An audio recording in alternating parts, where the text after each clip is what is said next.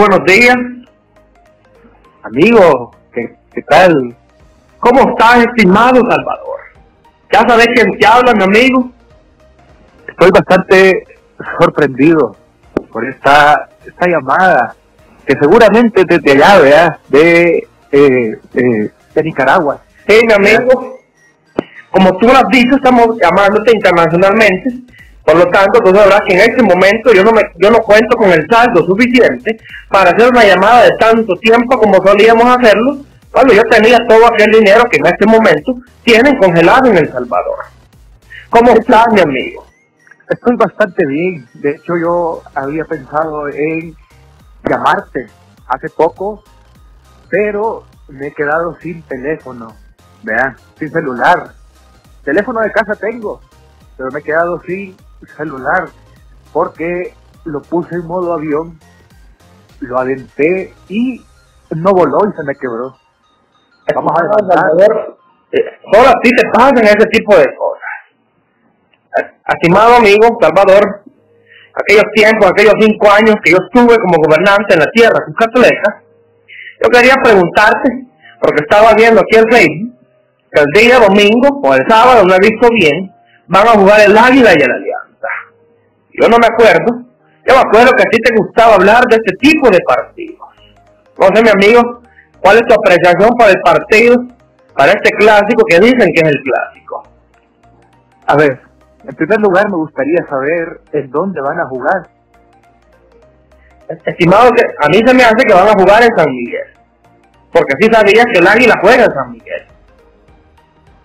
Pero es que el águila es un ave que vuela nacionalmente, ¿verdad? E internacionalmente en otros países. ¿Y por qué va a volar específicamente en San Miguel?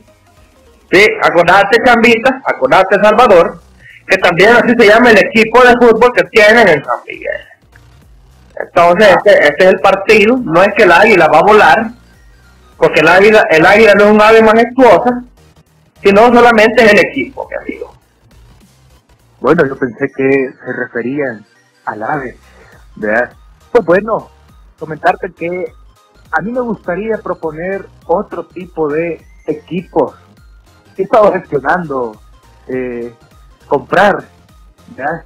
algún partido, algún equipo de fútbol con jugadores eh, que jueguen, que jueguen fútbol y precisamente ponerle el nombre de otra ave, ¿verdad? ¿Como qué ave te gustaría nombrarle, mi amigo?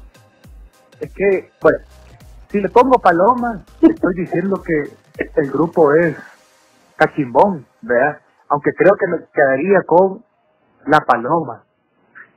Sí, mi amigo, con eso tenemos que tener cuidado.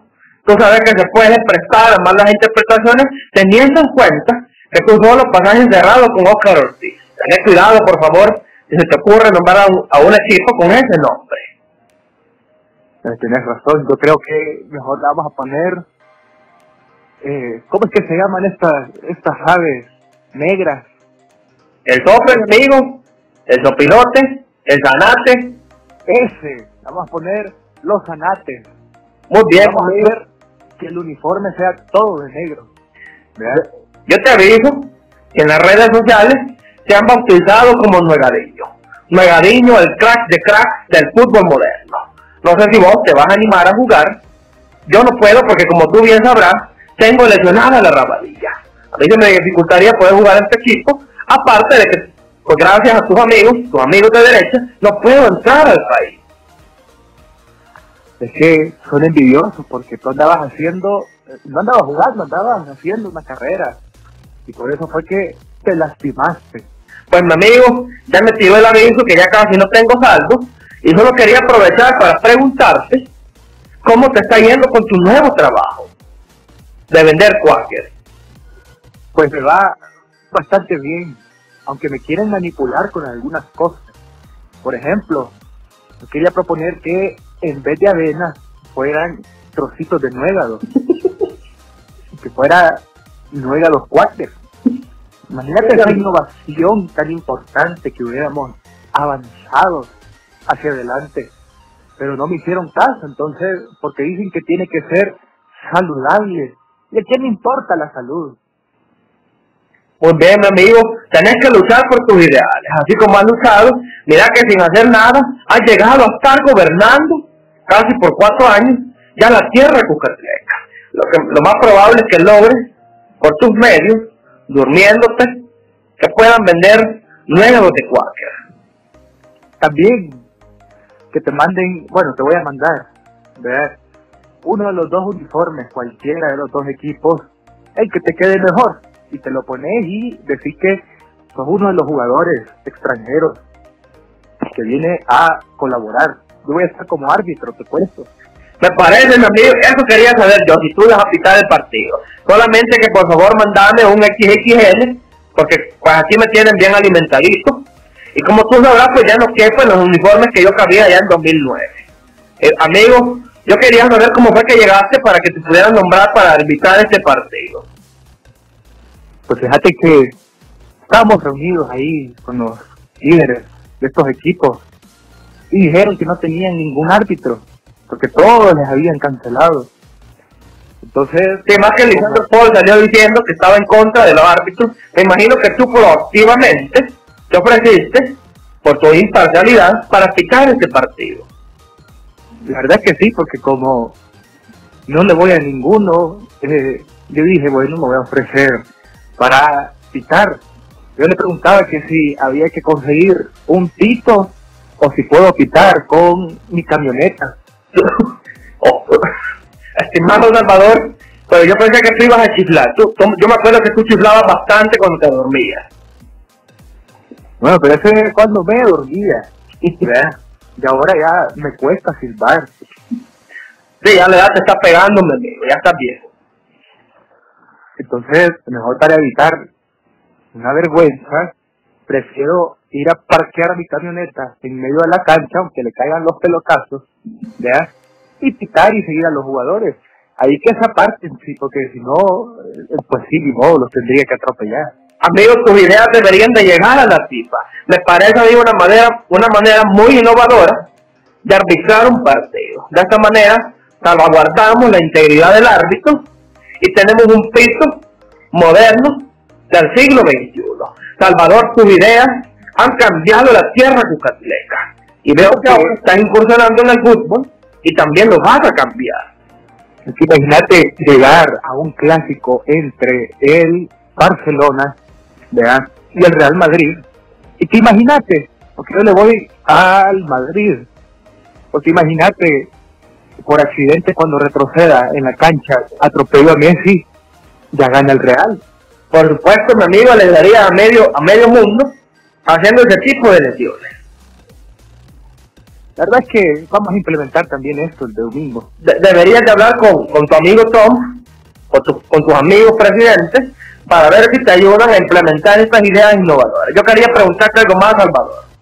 A ver. Teniendo en cuenta este, este ambiente de los estadios, tú sabes que dentro de los estadios venden hamburguesas, venden platanitos, venden paletas de sombrillitas, y yo creo que sería una buena oportunidad de venta para tu negocio que pudiera llegarte a Sol General, cuando juegue la Alianza, cuando juegue el Águila o el Paz, y llegar a vender nuegados de cuáquer, o llegar a vender nuegados yo creo que ese negocio incrementaría tu ganancia. La verdad es que sí, aunque, mira, serían eh, los calientes y con el calor que hace la, nosotros los vamos a meter en la refri. Pero ¿cómo vamos a hacer para meter la refri en el estadio? Ah, pues eso se puede. Bueno, si van a meter la camioneta, es muy probable que puedan meter la refrigeradora es que pensaba meter la refrigeradora en el baúl y andar el baúl abierto en la cancha para así si el jugador tiene hambre inmediatamente agarre de la refri que anda en el baúl de la camioneta ¿verdad? Sí, Salvador, la verdad mi amigo si quieres un inversionista solo esperemos que liberen mis cuentas que descongelen mis cuentas y yo con mucho gusto invierto en tu negocio, invierto en esta nueva manera de arbitrar los partidos. Es más, te voy a pedir también que me traigas bolsas de agua de allá de cascadas naturales de, de Nicaragua. Así vamos a traer esa innovadora idea de agua de un país centroamericano. Con mucho gusto, mi amigo. De igual manera, voy a hablar con Danielito y le voy a proponer su innovadora idea de arbitrar los partidos en automóvil. Yo creo que le parecer, y como aquí a este hombre nadie le dice que no, pues es muy probable que también lo podamos implementar en Nicaragua. Pues me parece, y creo que también es cuidar la seguridad del árbitro. Por supuesto, mi amigo. Porque así te evitas también que, como en otros partidos hemos visto, que los jugadores le gritan, les insultan, incluso han escapado a pegarles a los árbitros. Están, yo desde la ventana les puedo señalar, ¿verdad? Y no me pueden golpear porque tengo los vidrios cerrados. Y como vas a andar a tu cuerpo de seguridad, pues también tu cuerpo de seguridad le puede dar un par de macanazos a aquel que te esté gritando. Sí, si la verdad no están de por gusto. Muy buena idea, Salvador. Bueno, mi amigo, ya ahorita sí ya se me está acabando el salto. Ha sido un gusto hablar contigo. El gusto es mío y agradezco tu llamada y sobre todo para sensibilizar de manera bien sensible a toda la gente que vaya al estadio, a que no desperdicien el agua.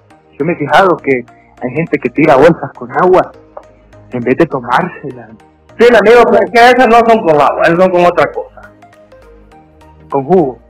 Sí, si querés te invito yo, vamos un día y te voy a dar de probar y me decías a qué te sabe. Va, me parece. Pero soda que no sea porque yo no tomo soda. No, te preocupes, mi amigo, que no es hora, es un líquido totalmente natural.